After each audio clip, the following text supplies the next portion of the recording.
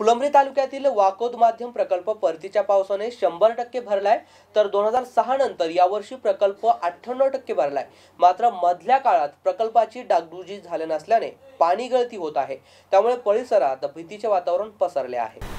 संपूर्ण पावसाळ्यात फुलंब्री तालुक्यातील वाकोद मध्यम प्रकल्पाला पाणी आले नव्हते. मात्र परतीच्या पावसाने काही दिवसातच धरण शंभर टक्के भरले यापूर्वी दोन हजार सहा साली धरण भरले होते. तर दोन हजार अकरामध्ये पन्नास टक्के पाणीसाठा होता. त्यानंतर यावर्षी प्रकल्प अठ्ठ्याण्णव टक्के भरला आहे मात्र मधल्या काळात ना प्रकल्पाची डागडुजी झाली ना पाळूवरील झाडे झुडपे तोडण्यात आली. यामुळे प्रकल्पाच्या सांडव्याला बऱ्याच ठिकाणी गळती होतीये. तर प्रकल्पाभोवती राहणाऱ्या लोकांमध्ये भीतीचं वातावरण निर्माण झालंय. बऱ्याच शेतकऱ्यांनी या प्रकल्पामध्ये शेती कसली होती? सध्या ती संपूर्ण शेती पाण्याखाली आली आहे तसेच प्रकल्पात भरपूर पाणी असल्याने प्रकल्पावर निर्धारित असलेल्या गावांच्या पिण्याच्या पाण्याचा प्रश्न मार्गी लागलाय.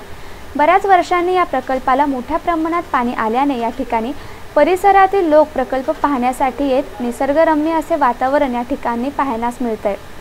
मात्र काटेरी झाडाझुडपातून रस्ता काढत यावे लागत असल्याने नाराजी व्यक्त केली जाते तर जलसंपदा विभागाच्या वतीने हा प्रकल्पाच्या सांडव्यावरती फिरण्यास सक्त मनाई केली असतानाही सेल्फी काढणाऱ्यांना मोह आवरत नसल्याचं दिसून येत आहे सदरील प्रकल्पावर जे बी गायकवाड उपविभागीय अधिकारी एस पी जोशी स्थापत्य अभियांत्रिकी सहाय्यक कैलास साळी सहाय्यक अभियंता पाकोत मध्यम प्रकल्प यांनी प्रकल्पावरील झाडाझुडपांविषयी आणि गळतीबाबतीचा अहवाल वरिष्ठांना सादर केल्याचे सांगितले यावर कार्यकारी अभियंता लघु पाटबंधारे विभाग अनिल निंभोरे यांना पाळूवरील झाडाझुडपाविषयी आणि सांडव्यातून गळती लागलेल्या पाण्याविषयी विचारणा केली असता ते म्हणाले हा प्रकल्प दगडमातीचा असून यामुळे गळती होऊ शकते.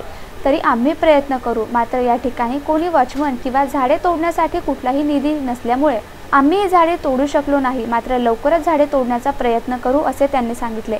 Mahavir Jaiswal M C N news Phulambri.